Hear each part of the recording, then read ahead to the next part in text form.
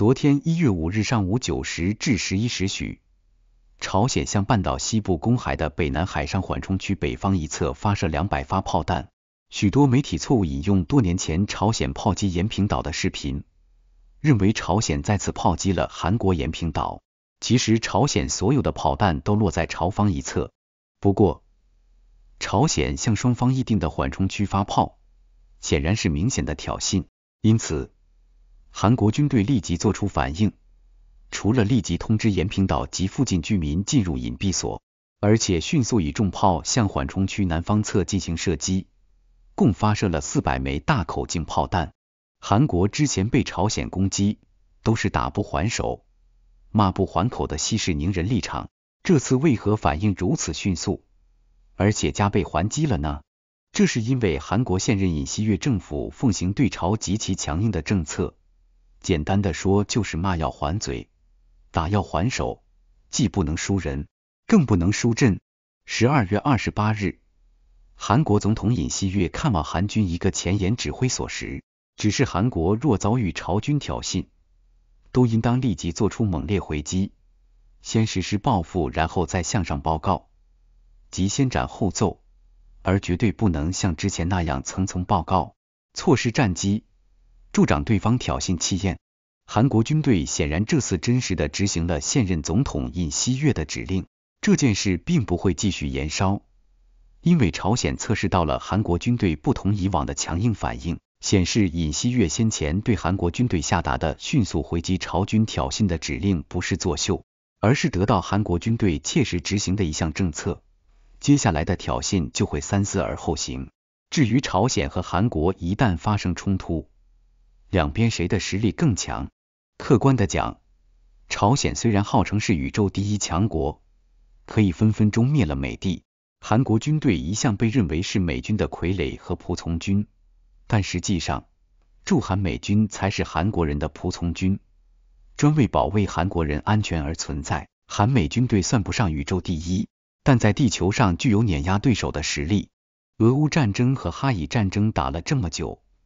如果许多人还相信朝鲜是宇宙第一军事强国，俄军实力世界第二，战无不胜，援乌耗尽了西方阵营军火库存之类的鬼话，我实在是无语了。我也无意要说服任何人，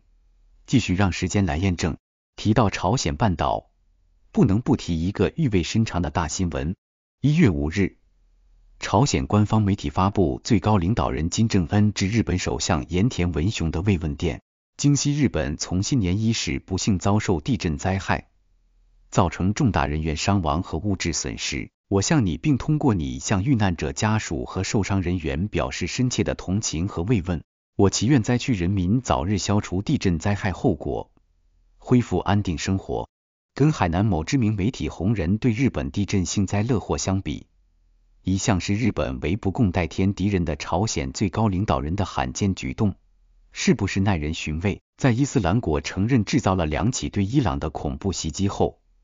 原先发誓要对袭击者进行加倍报复的伊朗，从最高精神领袖到之前打了鸡血一样兴奋。发誓要血债血还的苏莱曼尼支持者全都哑巴了。不是说他们不敢打击伊斯兰国，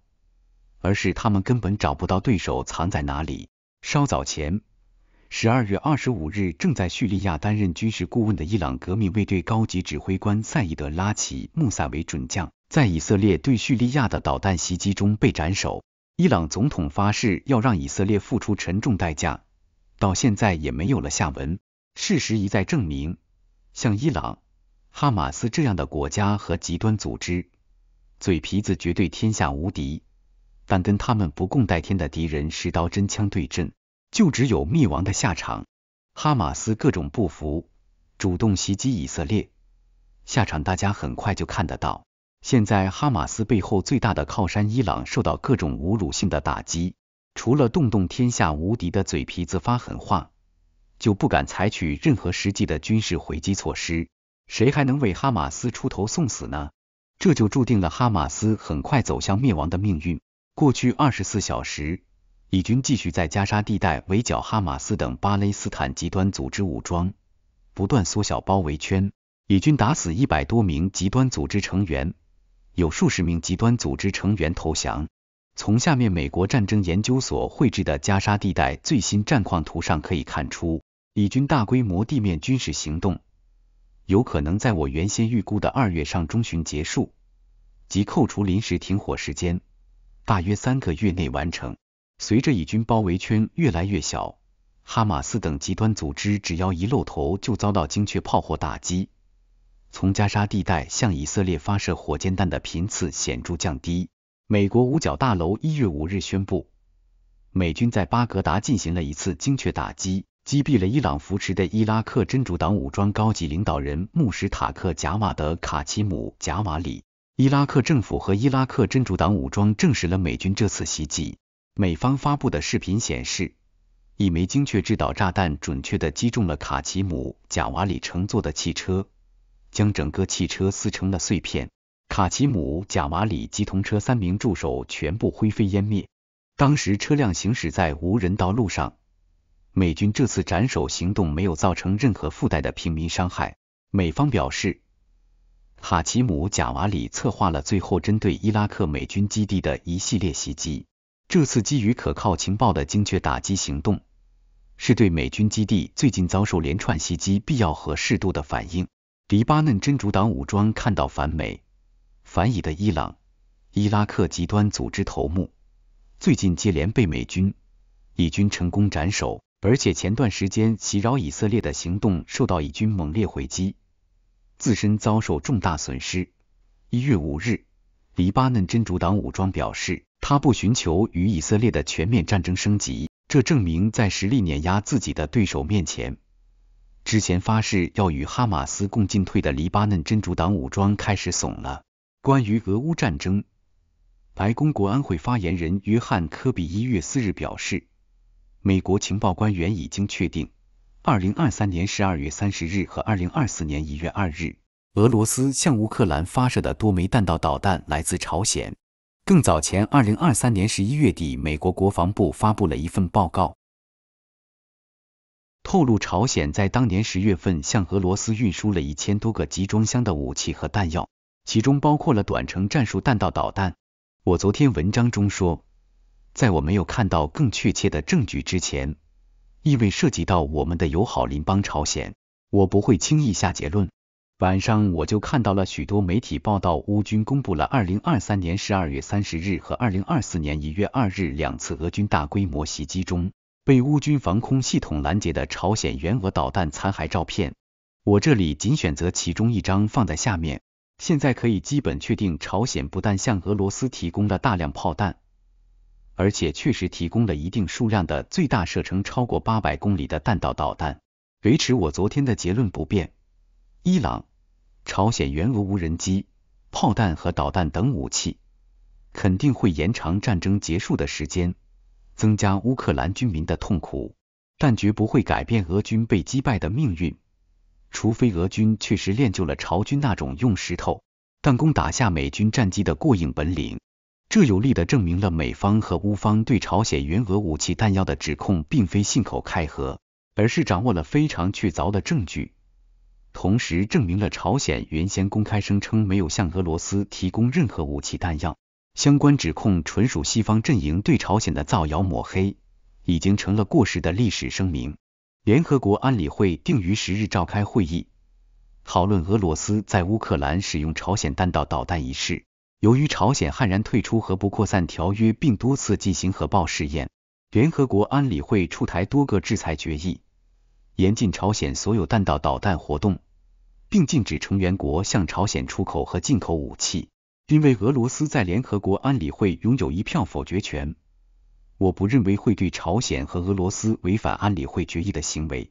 做出任何惩罚决定。换句话说，联合国安理会设置一票否决权的时候，从未想到如何制裁常任理事国违背安理会决议的行为。由此可以看出，联合国及其下属所有机构的权力极为有限。维护联合国宪章和现行国际秩序，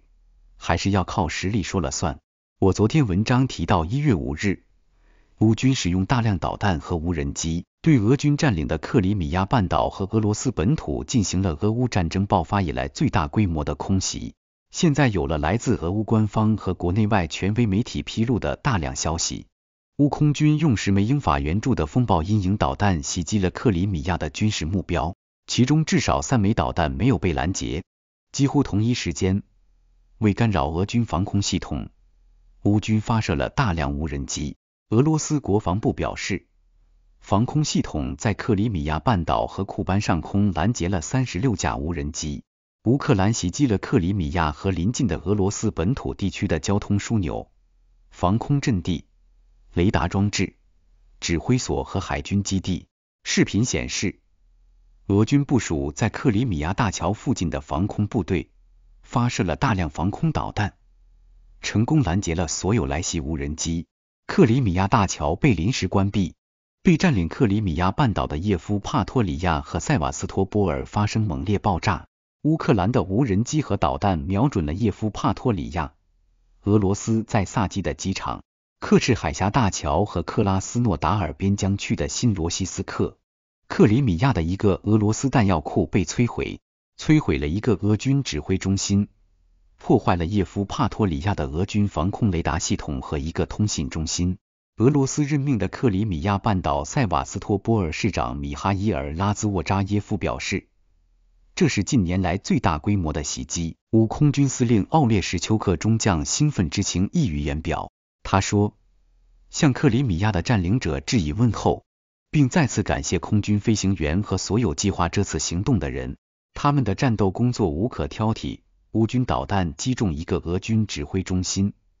造成至少二十三名俄军官兵阵亡，其中五名高级将领。不止一个传言称。俄军总参谋长、